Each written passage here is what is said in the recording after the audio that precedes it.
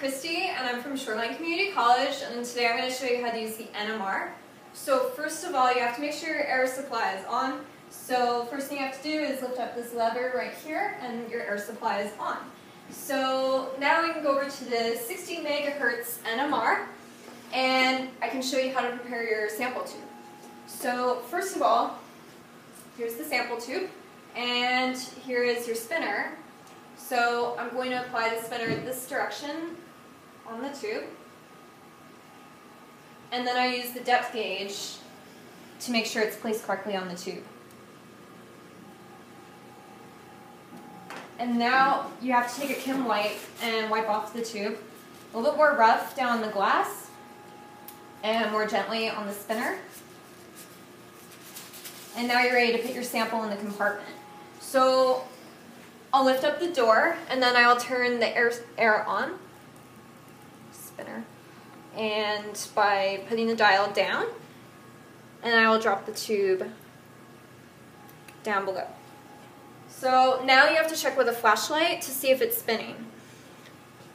And the best way to tell is if you can see a black dot, that means it's not spinning. But if you don't see one, it's spinning. And right now, it's definitely not spinning. So I place my thumb over and then I check again. So now I have it spinning. So now you close the compartment door. So now you're gonna acquire um, under the H1 acquisition tab. So I'll just click on that. I go down to ACQ, left click,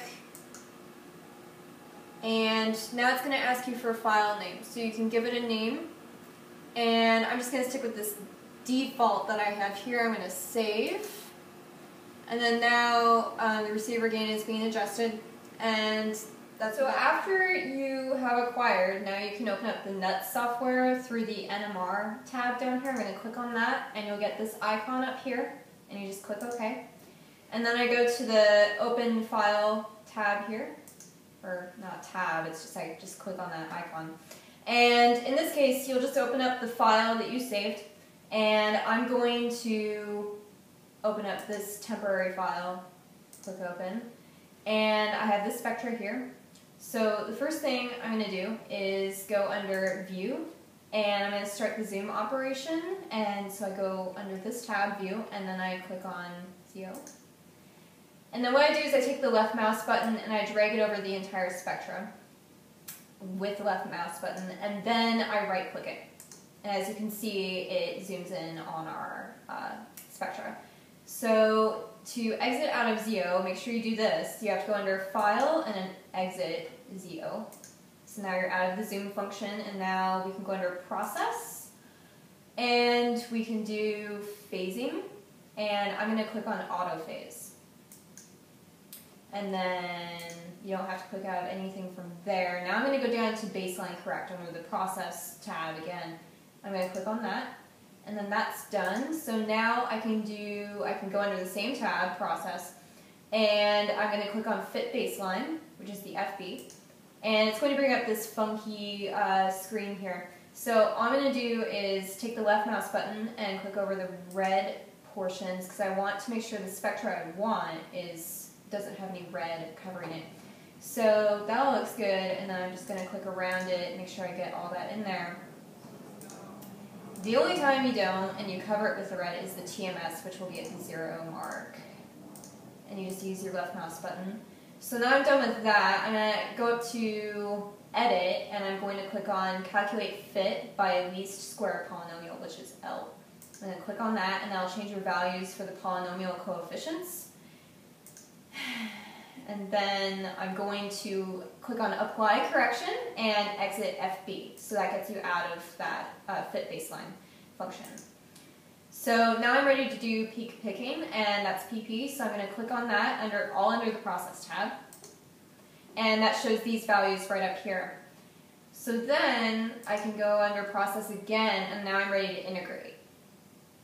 And that's Integrate Display. I'm going to click on that and you'll get this kind of gross thing here. So what I'm going to do is actually I'm going to take the left mouse button, I'm going to click twice on the left side of the peak, I'm going to click once on the right side, all with the left mouse button, and I'm going to continue doing that for each peak. So I'm going to do that real quick.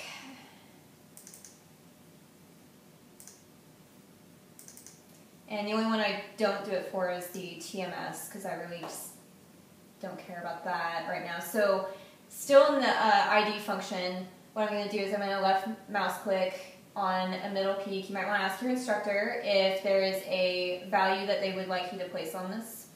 Um, so left click, and then I'm going to type in V. This is the only time you're going to type in something.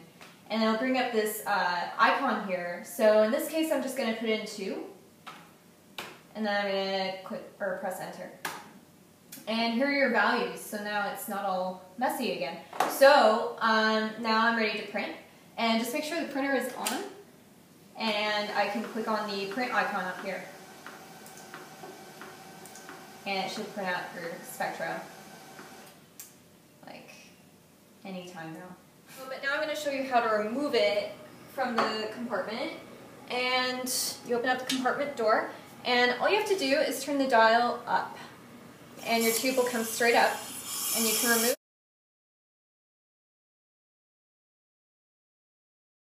will come straight up. And you can remove, turn the dial back to halfway, and then close the compartment door.